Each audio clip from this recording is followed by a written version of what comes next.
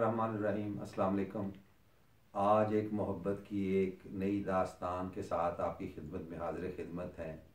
ये मोहब्बत एक इंसान ने नबी करीम सल्लल्लाहु अलैहि वसल्लम से की थी और उसका तस्करा करना बड़ा ज़रूरी है।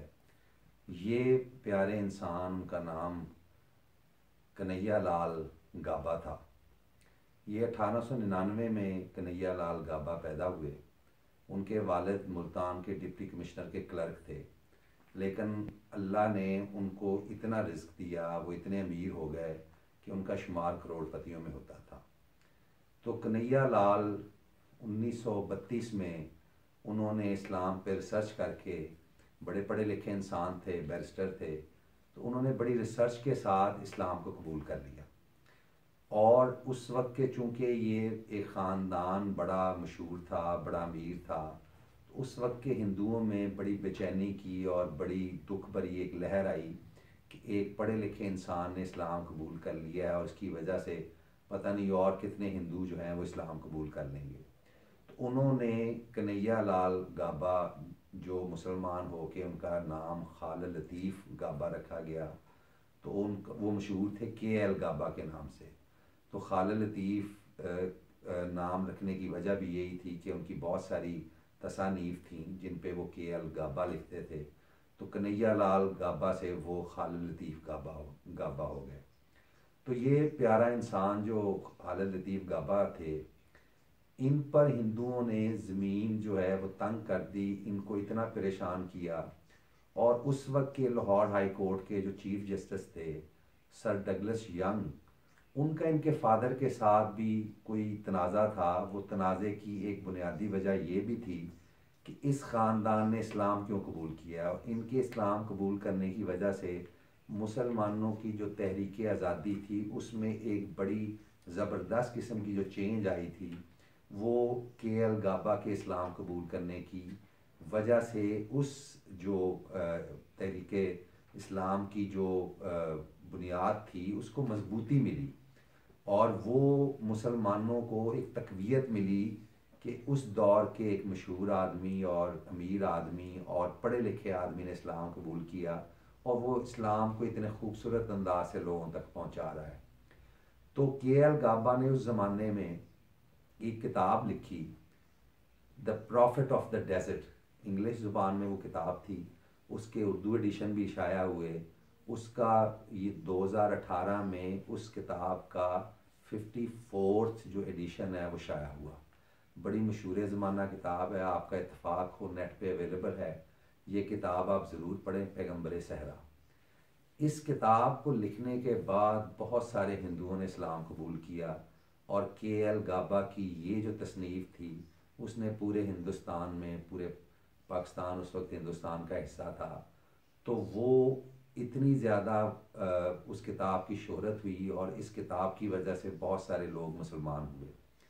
तो हिंदुओं ने पूरी साजिश की, अंग्रेज़ जो आपको मैंने, जिसका नाम तस्करा पहले किया, सर डगलस यंग, वो भी इस साजिश में शामिल थे के एल गाबा को एक झूठे मुकदमे में फंसाया गया। और उस मुकदमे की कार्रवाई जब स्टार्ट हुई तो उसके लिए डेढ़ लाख रुपया ज़र ज़मानत रखा गया और उनको गिरफ़्तार करके तो जेल में डाल दिया गया। तो K L Gaba friends and foes अपनी स्वान हयात में लिखते हैं कि मुझे कुछ हफ़्ते जेल में इंतहाई जुल्मों से तुमसे रखा गया। मुझ पर जुल्म किए जाते थे कि मैं इस्लाम छोड़ दूँ। लेकिन वो अल्लाह का बंदा अपने दीन के साथ और अपनी नबी की मोहब्बत में इतना ज़्यादा उनके इश्क में गिरफ़्तार था कि उसने इस्लाम कबूल करने से इनकार कर दिया। तो उस वक्त के जो दोनों बड़े अखबार थे लाहौर के, रोज़नामा ज़मींदार और रोज़नामा एहसान, उसमें बाकायदा उस ज़माने में अपीलें शाया होती थी कि ये इतना शानदार मुसलमान है, इसने इतनी शानदार तसनीफ़ की है, जिसकी वजह से तहरीक आज़ादी हिंद में मुसलमानों के लिए एक बड़ा अच्छा जो मजबूती उसको अता हुई है तो इसको रिहा करने के लिए जो मुखैर मुसलमान हैं वो हेल्प करें। लेकिन बहुत ऐलानात के बावजूद और इश्तहार के मुसलसल छपने के बावजूद भी उस के एल गाबा को रिहाई देने के लिए डेढ़ लाख जो उस वक्त बड़ी ठीक ठाक रकम थी, बड़ी, बड़े पैसे थे तो वो कोई देने के लिए तैयार नहीं हुआ। तो एक दिन सियालकोट से एक हाजी सरदार अली नाम का एक ठेकेदार वहाँ पे आया। उसने आके वो डेढ़ लाख रुपया ज़र ज़माना जमा करवाया। हालाँकि हिंदू और दूसरे लोग और जज जो था, वो भी उसको कह रहे हैं कि ये ज़र ज़मानत आपका ज़ाया हो जाएगा क्योंकि ये पैसे देने के काबिल नहीं है। ये तो कौड़ी कौड़ी का मोहताज है। और आप एक ज़र कसीर जो है, एक ऐसे बंदे के लिए आप खर्च कर रहे हैं जिसको आप जानते नहीं हैं। तो हाजी सरदार अली ने उनको एक ही जवाब दिया। उन्होंने कहा कि मुझे कुछ दिन पहले नबी पाक सल्लल्लाहु अलैहि मेरी ख्वाब में आए और मुझे फरमाया कि जाओ लाहौर में एक शख्स की ज़मानत करवाओ, चाहे जितने पैसे भी लगें। उसने मेरे लिए किताब लिखी है और वो किताब मुझे बहुत पसंद है। तो जिस कीमत पे भी हो, आपने उस शख्स को रिहा कराना है। तो हाजी सरदार अली ये फरमाते हुए उनकी आँखों में आँसू आ गए और उन्होंने कहा कि अगर मेरी सारी जायदाद भी बिक जाए तो ये सौदा मेरे लिए बुरा नहीं है। तो मैं चाहे कुछ हो जाए, मैंने इस बंदे के लिए चाहे मेरी सारी जायदाद लग जाए, मैंने इसको रिहा कराना है, क्योंकि इसका हुक्म मुझे मेरे सरवर कायनात मोहम्मद सल्लल्लाहु अलैहि ने दिया है। और ये मोहब्बत का, ये खूबसूरत तकाजा उस हाजी सरदार अली की यकीनी तौर पर निजात का बायस बना होगा। उन्नीस सौ इक्यासी में के एल गाबा की वफ़ात हुई, सैंतालीस में वो बॉम्बे शिफ्ट हो गए थे। लेकिन ये किताब उनकी ज़िंदगी में और उनकी ज़िंदगी के बाद लोगों की बहस का मौजू रही और लोगों ने उस किताब से, उस किताब से इतना फैज़ हासिल किया इंटरनेशनल लेवल पे उस किताब की रिकग्निशन हुई। वो किताब नबी पाक वसल्लम की ज़िंदगी पर लिखी जाने वाली चंद बेहतरीन किताबों में से एक किताब है। अगर आपका इतफ़ाक़ हो तो ये किताब ज़रूर पढ़िएगा और उस शानदार बंदे के अपने नबी पाक वसल्लम से इश्क को दोहराइएगा और उस उस इश्क को महसूस कीजिएगा कि जिस इश्क में उन्होंने ये किताब लिखी।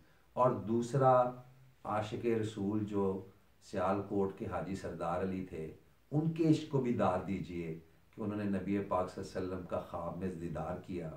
और उस दीदार के बाद एक ज़र कसीर जो है कि अलगाबा को छुड़ाने के लिए लगाई। ये दास्तान उस वक्त अखबारों की जीनत बनी और आज तक हमारे दिलों को गरमाती है।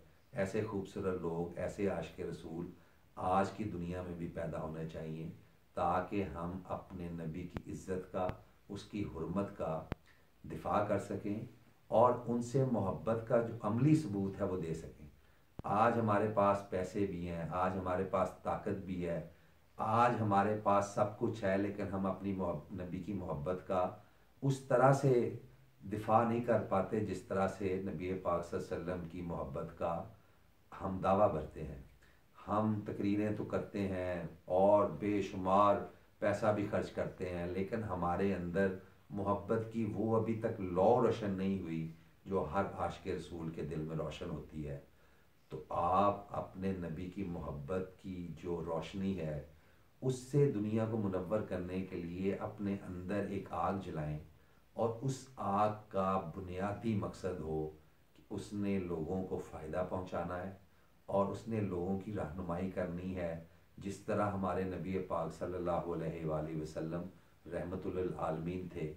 उनकी ये सिफत हमने अपने अंदर उतारनी है, लोगों पर रहम करना है और लोगों के काम आना है। बहुत